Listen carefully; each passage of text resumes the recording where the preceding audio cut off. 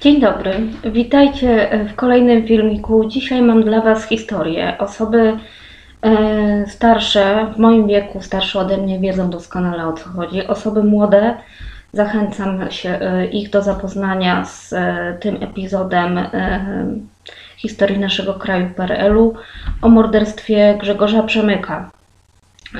Grzegorz Przemyk urodził się w 1964 roku, był synem poetki Barbary Sadowskiej e, i 12 maja 1983 e, roku świętował razem ze swoimi znajomymi kolegami na Placu Zamkowym w Warszawie zdanie matury. I 83 rok, przypominam, to był czas, dwa lata wcześniej wprowadzono stan wojenny, więc w 83 roku jeszcze były takie kontrole milicyjne, zamowskie, E, na ulicach, trzeba było mieć ze sobą dowód osobisty, mm, wylegitymować się, uzasadnić czasami swoje, e, swoją obecność w danym miejscu. I Grzegorz Przemyk i jego kolega Cezary Filozof, oni nie mieli przy sobie dowodu. I e, milicja zabrała Przemyka na posterunek i tam go dotkliwie pobili. E, wypuścili go, ale go dotkliwie pobili i e, w domu na drugi dzień e, Grzegorz odczuwał ogromne bóle brzucha, prawdopodobnie miał urazy wewnętrzne, więc zawieziono go na, do szpitala na ostry dyżur i 14 maja zmarł. W ogóle zmarł trzy dni przed swoimi urodzinami. Także mm, straszna tragedia. I yy, ta wieść się rozeszła po Warszawie. Kiedy yy, yy, społeczeństwo dowiedziało się o tym, że milicja zakatowała Grzegorza Przemyka na śmierć, było ogromne oburzenie. O, ogromne oburzenie społeczne też z tego względu, że była wtedy świeża pamięć stanu wojennego, tak? I milicja była znana i oczywiście słynna z brutalności. Y, więc y, wtedy, kiedy był już pogrzeb Grzegorza Przemyka, do tego konduktu żałobnego i w ogóle na pogrzeb przyszły tłumy. Tysiące ludzi, tysiące warszawiaków i chyba nie tylko warszawiaków. Więc mm, zaczęły się takie, y, może nie rozruchy społeczne, bo gdyby zaczęły się rozruchy społeczne, to wojsko i milicja na pewno otworzyłaby ogień do tłumów, ale było to niepokojące dla y, władz perelowskich, dla Kiszczaka, dla y, ówczesnych dygnitarzy, którzy byli na świeczniku. I e, śledztwo w sprawie śmierci Grzegorza Przemyka, one oczywiście zostały otwarte, ale one miały priorytety z góry. E, jako, że Grzegorz Przemyk e, zmarł w szpitalu, to e, oskarżono na siłę dwóch sanitariuszy i lekarkę. Oni dostali wyrok i odsiedzieli w więzieniu. Nie tykano w ogóle wątku pobicia milicyjnego na tym komisariacie. W 1989 roku jeszcze odznaczenia dostali ci funkcjonariusze milicji, którzy prowadzili śledztwo e, e, od Kiszczaka, dostali odznaczenia z uzasadnieniem, że ukazano prawdę, tak? że śledztwo ukazało prawdę. To było kompletnym, wierutnym kłamstwem i w 1997 roku, już po zmianach politycznych w Polsce, ustrojowych, wznowiono śledztwo w sprawie śmierci Grzegorza Przemyka i oczywiście na ławie oskarżonych i przed sądem stanęli prawdziwi sprawcy tego czynu, czyli milicjanci.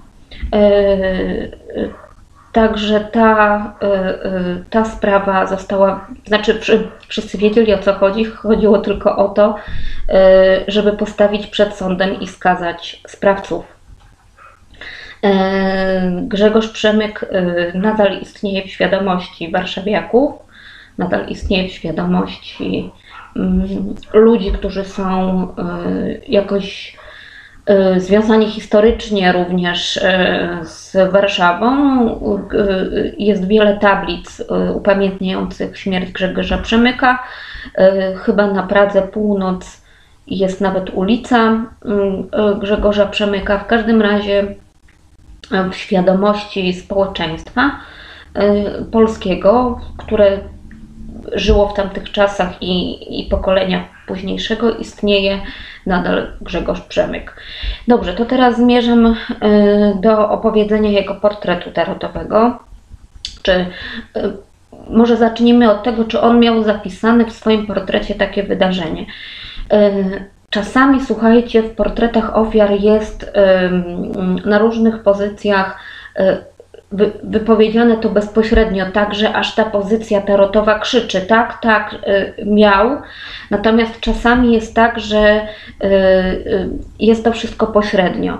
I akurat u Grzegorza Przemyka, przepraszam, jest to zapisane pośrednio, ponieważ on ma mam wrażenie, że chodzi o jego misję życiową i y, karmę. To coś, y, te wszystkie karty, te cztery karty, które właśnie są na tych pozycjach. W misji życiowej ma sąd ostateczny, w jaki sposób wykonać tą misję ma kartę sprawiedliwości, jak pracować ma z misją, ma kartę mocy. Poza tym on sąd ostateczny również ma na wnętrzu ale to jest troszeczkę inna perspektywa wytłumaczenia tego sądu ostatecznego. E, dobrze, e, co jeśli chodzi o misję jego życiową w sądzie ostatecznym razem ze sprawiedliwością, jak wykonać tę misję? E, sąd ostateczny jest jakąś grupą ludzi. Ja zawsze mówię tak, żeby łatwiej było też Wam zrozumieć, E, że to jest jakaś społeczność, jakaś grupa, e, to może być również jakaś warstwa społeczna, oczywiście nasza rodzina pokoleniowa, e, to jest coś, co łączy ludzi, tak? Mm, może to być jakaś idea, która łączy ludzi, może to być jakaś pokrewieństwo, coś, co łączy ludzi, daną grupę wokół czy idei, czy jakiegoś wydarzenia. I razem ze sprawiedliwością ten sąd ostateczny mam wrażenie, że mówi o tym, że Grzegorz Przemyk, tu nawet nie chodzi, słuchajcie, o symbol, bo gdyby to był symbol, to myślę, że byłaby inna karta. Natomiast mm, Grzegorz Przemyk w kontekście oczywiście tego, co mu się wydarzyło, to co było faktem, tak? Bo gdyby dalej żył, nic by mu się nie stało, to w inny sposób by tą swoją misję życiową wykonał, ale w kontekście tego e, jego pobicia i morderstwa, e, to znaczy pobicia, którego konsekwencją była śmierć, czyli no, może nieumyślne spowodowanie śmierci, ale tak czy siak morderstwa, ten sąd y, y, ostateczny razem ze sprawiedliwością mówi o tym, przynajmniej do mnie tak przemawia, że Grzegorz Przemyk y, stał się osobą, która skupiła bardzo dużo osób społeczeństwa, tak, które się nie zgadzały na system, system sprawiedliwości, system polityczny, system ekonomiczny, jaki wtedy obowiązywał w państwie polskim. Tak jakby Grzegorz Przemyk był e, niepozorną osobą, urodził się jako niepozorna osoba, a to, co mu się wydarzyło, stało się jakąś wielką, ogromną przyczyną, czy lawiną, albo taką małą kuleczką, która przyczyniła się do upadku PRL-u, tak? Akurat nikt w 1983 roku nie myślał, tak, żeby obalić ten ustrój, ale tak ziarnko do ziarnka, ja Wam kiedyś też wspominałam przy, e, przy okazji omawiania e, jednej osoby, zostawię Wam linka tutaj w prawym górnym rogu. To są takie epizody w, w historii PRL-u najnowszej, bo to lata 80., które też między innymi przyczyniły się do upadku tego systemu.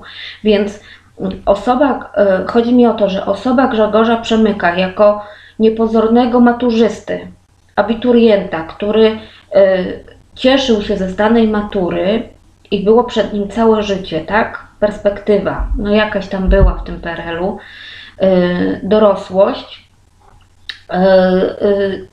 jego osoba stała się, no właśnie symbolem, tak? Yy, czy yy, magnesem, która skupiła społeczeństwo, skupiła prawie wszystkie grupy społeczne w proteście. Yy, jak pracować z misją Grzegorz Przemyk ma kartę mocy, czyli ewidentnie w tym wypadku karta mocy mówi o przemocy, o e, przemocy fizycznej mm, e, w tej sprawiedliwości, czy razem ze sprawiedliwością. W tym wypadku e, przedstawicielami tej sprawiedliwości byli funkcjonariusze milicji MO, którzy zakatowali na śmierć Grzegorza Przemyka, tak? Poza tym w karmie, jeszcze nie wspomniałam o karmie, w karmie Grzegorz Przemyk miał kartę wisielca, czyli to też pośrednio wskazuje na ofiarę ze swojego życia w imię wyższej e, idei, tak? No Grzegorzowi, Grzegorzowi Przemychowi oczywiście wtedy nie chodziło o to, on nie poszedł na jakiś protest, czy nie poszedł, był za młody nawet, gdy, żeby uczestniczyć powiedzmy w jakichś um, strajkach e, sierpniowych w Gdańsku i świadomie poszedłby tam, żeby walczyć do końca. On po prostu był niepozornym maturzystą, który cieszył się z, ze zdanej matury. Ale ten wisielec karmy mu w pewnym sensie mówił o tym, że jego ta ofiara z jego życia nie poszła na marne. Co jeszcze chciałam Wam powiedzieć e, o Grzegorzu Przemyku w, no, w, w tym sądzie? On na trzeci, mm, znaczy ten, ten sąd ostateczny, karty sądu ostatecznego, on ma na trzech pozycjach. W misji, na obecne wcielenie, w trzecim etapie życia i na wnętrzu. Czyli jakby nie było, ta jego śmierć odbiła się. E, przepraszam Was, musiałam przerwać, bo zadzwonił mi e, telefon i miałam dosyć ważną rozmowę. Czasami tak bywa. Nie mogę wybrać odpowiedniej pory na nagrywanie, bo zawsze ktoś coś, chociaż staram się w jednym kawałku Wam opowiadać. Dobrze, y, mam wrażenie, że skończyłam y, mówić o sądzie ostatecznym na różnych pozycjach y, w portrecie Przemyka. To jest trzeci etap życia, misja życiowa i wnętrze. I Owszem, sąd ostateczny, jeśli chodzi o sprawy, e, o życie sensu stricte rodzinne, to mówi o karmie rodowej i o, e, e, no w tym wypadku, traumatycznym wydarzeniu, jakie dotknęło rodzinę po prostu, tak? Wraz ze śmiercią syna Grzegorza Przemyka, ale w szerszym tego kontekście też sąd ostateczny mówi, powtórzę się raz kolejny, o y, społeczeństwie polskim. E, społeczeństwo polskie również było zbulwersowane tym i również y, w świadomości, podświadomości y, Polaków i nadal funkcjonuje Grzegorz Przemyk jaka, jako niewinna ofiara po prostu tego systemu. Tak? W trzecim etapie życia Grzegorza Przemyka mamy sąd ostateczny, więc nadal on funkcjonuje w kolejnych pokoleniach świadomości kolejnych pokoleń Polaków. Mam nadzieję, że, że funkcjonuje w, w, w, pokoleniu dwudziestolatków czy y, młodszych, bo to nie jest tak do końca pewne. W każdym razie na wnętrzu on ma również sąd ostateczny, więc dla niego podejrzewam, że również była ważna rodzina, również czuł y, y, związek, jakiś e, związek taki wewnętrzny, jeśli nie ze swoją rodziną, tak, nie wiem, babcia, dziadek, mama, tata, to równie dobrze może e, z e, jakąś grupą społeczną, do której należał, tak. Dobrze, to chyba było wszystko, co chciałam Wam powiedzieć o Grzegorzu Przemyku, bo ja nie chcę się wgłębiać w jego portret tarotowy. To był młody człowiek, on urodził się, słuchajcie, w 1964 roku, a zmarł w 1983, on miał 19 lat. Więc oprócz tej misji życiowej i tej karmy, e, można, słuchajcie, e, trochę sparafrazować ten portret tarotowy i powiedzieć, wypełnił tą swoją misję i mógł odejść, tak? No to nie jest zbyt przyjemne i zbyt do, dobre zakończenie mojego filmu, ale tak, tak jakby podskórnie czuję to, że e, że to była akurat taka misja w jego życiu, żeby ją wypełnić. On ją wypełnił jako dziewiętnastolatek, razem z karmą oczywiście. I e, dusza mogła odejść, e, wypełniać inne zadanie, tak, wcielić się w inne życie. Oczywiście, gdyby Grzegorz Przemyk przeżył, e, to ten sąd ostateczny razem ze sprawiedliwością i mocą inaczej by się u niego zrealizował. Może to traumatyczne wydarzenie pobicia przez milicję wzbudziłoby w nim chęć e, e, dołączenia do opozycji, tak? E, rozprowadzania na przykład bibuły czy aktywnego wspomagania opozycji, bo sprawiedliwość z sądem ostatecznym mo może również na to wskazywać, ale zrealizowało się u niego tak, jak się zrealizowało. Dobrze, dziękuję Wam za uwagę, dziękuję, że zechcieliście wytrwać te kilkanaście minut ze mną w moim towarzystwie i towarzystwie Grzegorza Przemyka i do następnego filmu. Na razie.